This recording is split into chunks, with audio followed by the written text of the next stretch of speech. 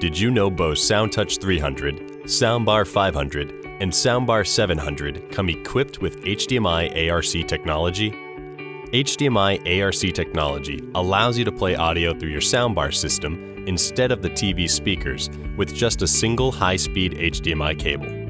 While not all TVs are compatible with this technology, here are some tips you can follow if you would like to use this feature. First, let's make sure you're connecting the soundbar to a TV with ARC technology. Some TVs with multiple HDMI inputs will only support the ARC feature on one of the inputs. In these cases, the input will typically be marked with the letters ARC.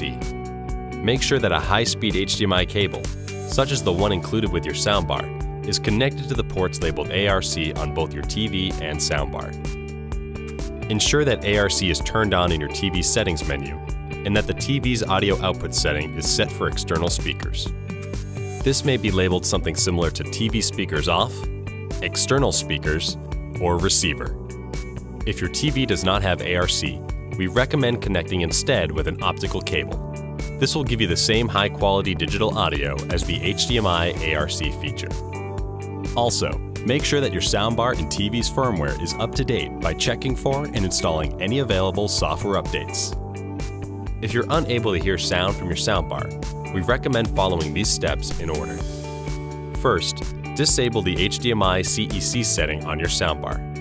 To do so on a SoundTouch 300, open the Bose SoundTouch app. Select Menu, Settings, Speaker Settings, select your system, Advanced Setup, HDMI CEC, and then tap Off.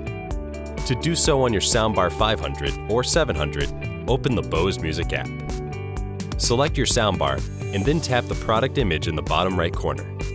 Tap Settings, Advanced CEC, and then tap Off. Next, we'll need to re-establish the communication between the TV and the soundbar.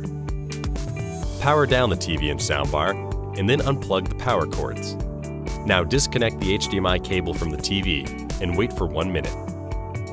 Once a minute has passed, you can plug in the TV's power cord and power the TV back on. Plug your soundbar's power cable back in and power it on.